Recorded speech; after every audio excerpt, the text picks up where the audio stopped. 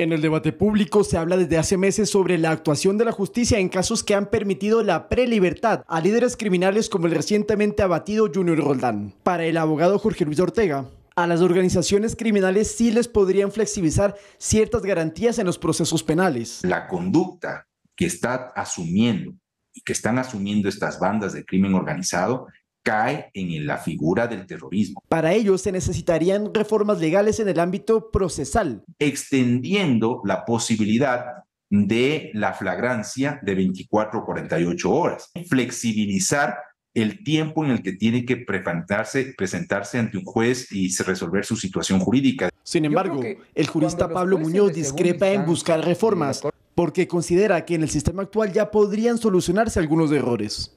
Yo creo que cuando los jueces de segunda instancia y de la Corte Nacional comiencen a hacer una evaluación sucinta de este tipo de, actuaciones, creo que vamos a comenzar a hacer una depuración real de aquellos jueces que están tergiversando las acciones constitucionales. Y es que aparte del mea culpa de los magistrados, Muñoz apunta que al momento de solicitar un habeas corpus, quien cometería fraude procesal serían los abogados defensores del privado de la libertad. ¿Por qué están tergiversando la realidad? Si a mí me dicen el señor, el, el privado de la libertad tiene gangrena y la verdad es que no tiene absolutamente nada, bueno, ahí hay un intento de, engañar a la autoridad. En el caso de JR, su defensa manifestó que necesitaba el habeas corpus por un problema hepático, pero al salir de la penitenciaría se lo observó en fiestas donde consumía alcohol, algo prohibido para un paciente con su tipo de diabetes.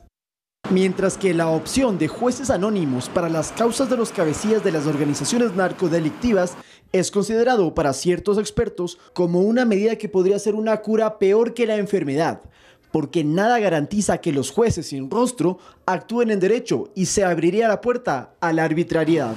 Lautaro Andrade, Noticias 7.